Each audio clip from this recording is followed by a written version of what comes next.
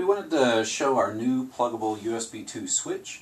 Uh, we've got a setup here that's kind of interesting. We have a uh, Mac Mini running latest Mac OS 10 and we've got a, a, big box here running Windows 7 and we wanted to show how you could uh, how you could use a USB switch to share devices between two machines. So this setup here is actually one where we've effectively created an all USB KVM setup. Here's the Plugable USB switch. Um, we've got uh, one cable going to our devices, which is actually going to a Plugable hub, which has many devices off of it.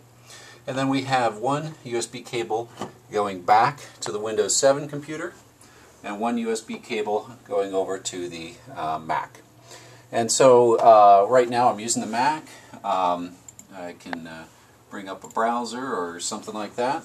Um, and actually it's making use of, if I go to a website,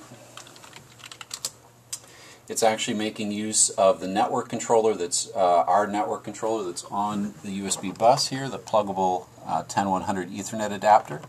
And the screen that you're seeing this on is actually a USB attached graphics adapter. So all of everything that's happening here, network, graphics, keyboard and mouse, are all from this cable going over to this USB hub through our switch.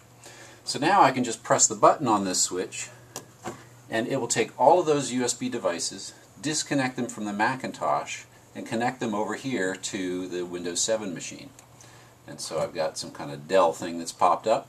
But uh, once my network adapter has had enough time to grab a, uh, a DHCP address, and I open up a network page here, so now I'm using all these same devices.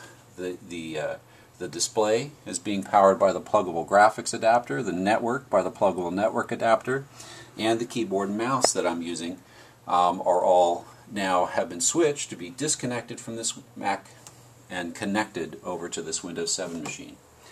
And uh, so that's the you know the simple but kind of really powerful functionality that you can get with a USB switch like this in combination with a whole bunch of USB devices.